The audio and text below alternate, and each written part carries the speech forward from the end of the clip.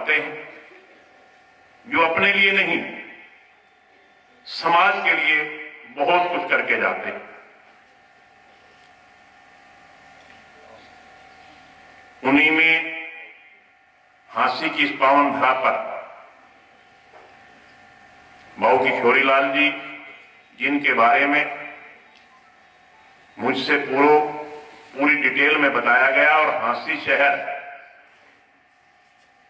उनके बारे में बखूबी जानता है कि किस तरह से उनका जीवन विशेष तौर पे शिक्षण संस्थाओं के प्रति, धार्मिक संस्थाओं के प्रति समर्पित रहा। आज हम जिस कॉलेज में बैठे हैं, एसटी महिला महाविद्यालय रूपी एक पौधे को उन्होंने लगाया और आज वो पौधा बड़ा होकर के एक वट वृक्ष बन गया और अपनी छाया के नीचे आज उसकी छत्र छाया में हमें फख्र है इस बात का कि हमारी बच्चियाँ शिक्षा ग्रहण कर रही हैं। और ये बच्चियाँ इस कॉलेज में शिक्षा ग्रहण करके काफ़ी दूर दूर तक इस कॉलेज का नाम, इस इलाके का नाम और अपने माँ बाप का नाम रोशन भी कर रही। ये हमारे लिए बहुत बड़े फख्र की बात। है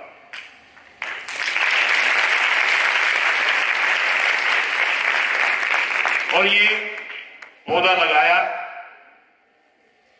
बाऊ किशोरी लाल जी गोयल। ये हमारे लिए कितने सौभाग्य की बात है। अगर हम 20-30 साल पीछे चले जाएँ तो कॉलेज कहीं कहीं हुआ करते थे। हमारा सौभाग्य रहा कि हांसी शहर में लड़कों का कॉलेज तो बाद में बना, मगर लड़कियों का कॉलेज पहले बना।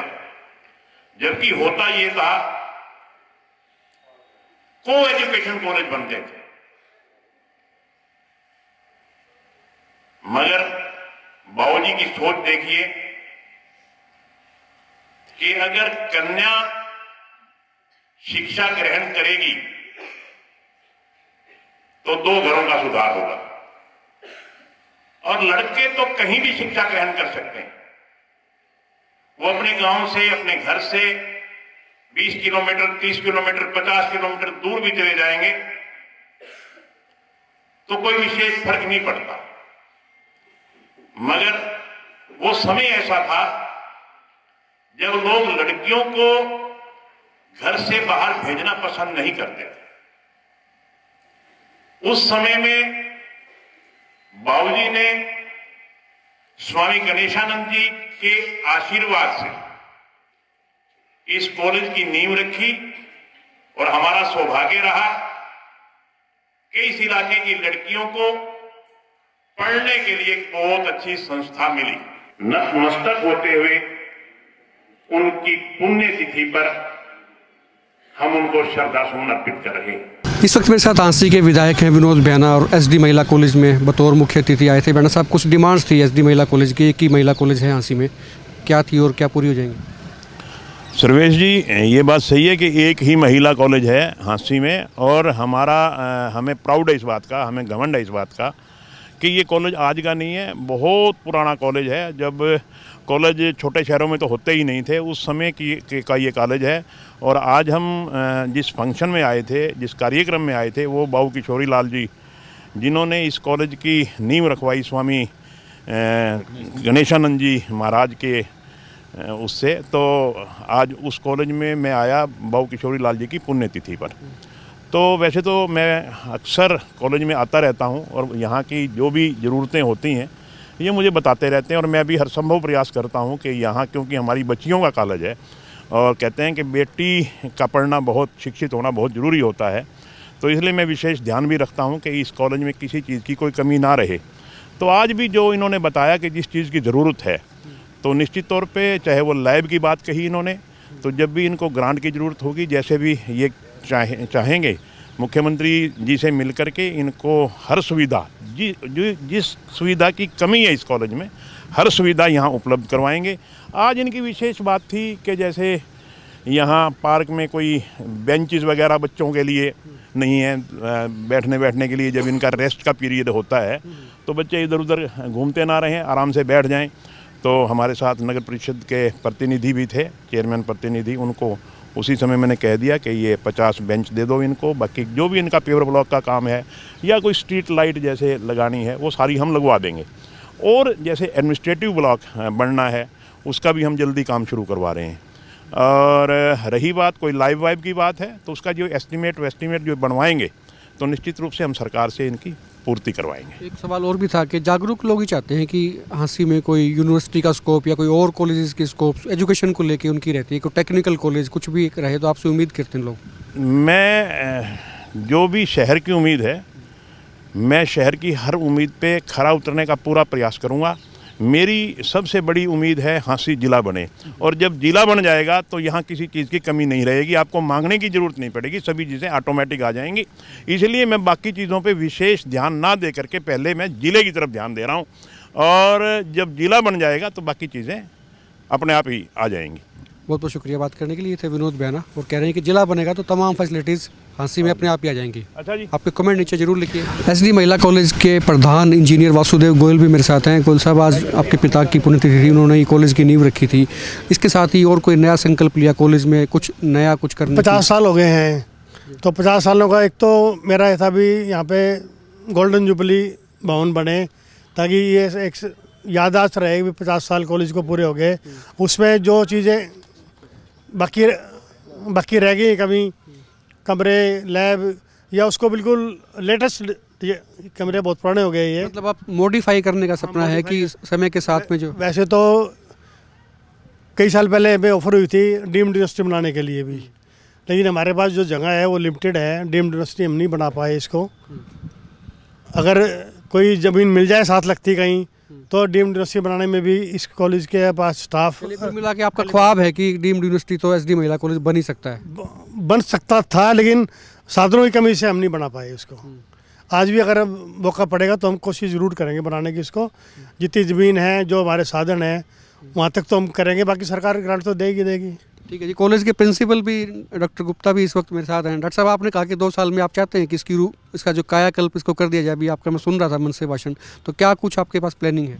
मेरे पास प्लानिंग यही है क्योंकि बिना पॉलिटिकल उसके अपलिफ्टमेंट के जो है ना कॉलेज ग्रोथ में नहीं आ सकता। बयाना साहब का जो है ना मेरे पास पूरा आशीर्वाद है। जो भी समस्याएँ होंगी और मैं क्योंकि जो कॉलेज की मेन ग्रोथ होती है एकेडमिक्स और एकेडमिक्स में मैंने बयाना साहब को कहा कि प्रधान जी को कन्विंस करें या रेगुलर फैकल्टी हरियाणा सरकार ने बारह सेंक्शन की हैं। पहले उनको फिलअप करें और वो पोस्टें फिलअप हो जाती हैं तो निकट भविष्य में नैक होती है नैक एक्रेडिटेशन जिसके तहत किसी भी क्वालिटी एजुकेशन का पैरामीटर तय होता है और उसको हम फुलफिल करेंगे, जो रूसा की तरह ग्रांट आती है, राष्ट्रीय उच्चतर शिक्षा अभियान के तहत। और भी काफ़ी रास्ते हमारे पास खुल जाते हैं, क्योंकि आजकल मॉडर्न टेक्नोलॉजी की ज़रूरत है। आपको बता दूँ वाईफाई और इंटरकनेक्टेड जो है ना लैब्स जो है ना, वो बड़ी रिक्वायरमेंट और इसके लिए फंडिंग की ज़रूरत है। और भैना साहब ने मुझे अश्योर कराया है कि आपको गोल्डन जुबली ईयर में, क्योंकि आज पुण्यतिथि पर बाबू जी की पे आए हैं और उन्हें आश्वस्त किया है, आप जो भी मेरे पास एस्टिमेट और जो भी प्रोजेक्ट रिपोर्ट भेजेंगे, मैं उसको पूरा करवाने में यथाशीघ्र कोशिश करूँगा। ये गोल्डन जुबली चल रही है कॉलेज की और जनरल सेक्रेटरी भी इस वक्त मेरे साथ हैं, अंकुर गोयल गोयल साहब गोल्डन जुबली है वाईफाई और तमाम चीज़ें हो जाएँगी और नई चीज़ें क्या हो सकती हैं? जैसे कोरोना काल में ज़रूरत हो गई है इलेक्ट्रॉनिक साधन की हम चाहते हैं सब बच्चों को नई टेक्नोलॉजी के बारे में पता चले वो इसको सीखें और अपनाएँ ताकि हम देश में नहीं दुनिया में भी किसी से पीछे ना रहें पढ़ाई में भी और टेक्नोलॉजी में भी। देश की नहीं दुनिया की बात हो रही है अच्छी बात है ऐसा चलना ही चाहिए। रिंकू सैनी भी हैं नगर परिषद चेयरमैन प्रतिनिधि हैं और आज उन्होंने वायदा किया है कि इस कॉलेज को काफ़ी सारे जो बेंचेस की डिमांड थी वो पूरी हो जाएगी। कब तक हो जाएगी? इनकी जल्द जो बेंचेस की और लाइटों की जो डिमांड रखी है रिक्वायरमेंट है इस कॉलेज की जो छात्राओं को बैठने में असुविधा होती है ताकि सुविधा मिल जाए। तो अभी विधायक जी से और हमने बैठ के बात की है कि जल्द इसकी कॉलेज की जो डिमांड है बेंचेस की और लाइटों को हम जल्द पूरी करेंगे। शुक्रिया। और उम्मीद करते हैं कि नए साल के शुरू शुरुआत में जैसे कि उन्होंने वायदा किया है कि बेंचेज आ जाएँगे साइकिल स्टैंड पे पेवर्स लग जाएँगे लाइटिंग हो जाएगी। आपके कमेंट आप नीचे ज़रूर लिखिए। इंजीनियर वासुदेव गोयल मेरे साथ हैं कहते हैं एक बात और रह गई थी वो और पूछ लेते हैं इनसे क्या रह गई थी। ये जो हमारा एडमिनिस्ट्रेटिव ब्लॉक बन रहा है इसका भी शिलान्यास उद्घाटन जो कुछ भी है बयाना साहब की वजह से ही हो रहा है। जब बयाना साहब पहले एमएलए सीपीएस थे जब इन्होंने इसके लिए साढ़े बाईस लाख रुपए ग्र- ग्रांट रिकमेंड की थी पंद्रह लाख रुपए ग्रांट उस टाइम रिलीज़ हो गई थी बाकी फिर वो ना रिलीज़ हुई ना लैप्स लैप्सी समझो लैप्स होगी अब तो वो। दोबारा फिर ग्रांट मिलेगी वो और ये बिल्डिंग भी बयाना साहब ने उद्घाटन किया दोबारा बनाने का। मिला के मैं देसी भाषा में समझा देता हूँ इनको बयाना साहब से उम्मीद है ये कहना चाह रहे हैं उन्होंने शुरुआत की थी और उसको अमली जामा भी अब विनोद बयाना हँसी के एमएलए उन पे इनका विश्वास है कि वो पहनाएँगे पढ़ाएँगे। Roll number 15 monica ba second roll number 15 pooja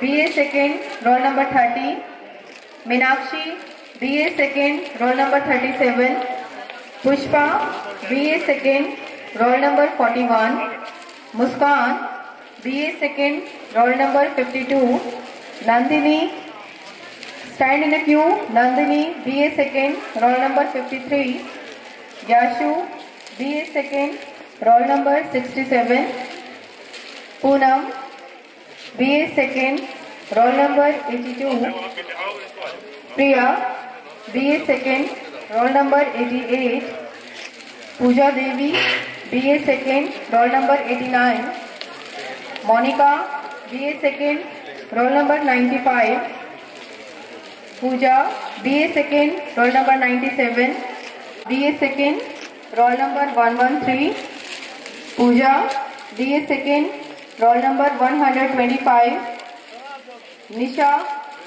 B A second roll number 126 Manju B A second one thirty one roll number Priya B BA second A second roll number 135 Sushila B A second roll number 138 Roma B A second roll number 143 Anju, BA second, roll number 146.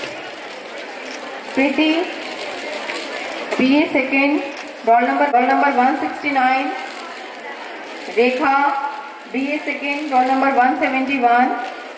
Monica, BA second, 1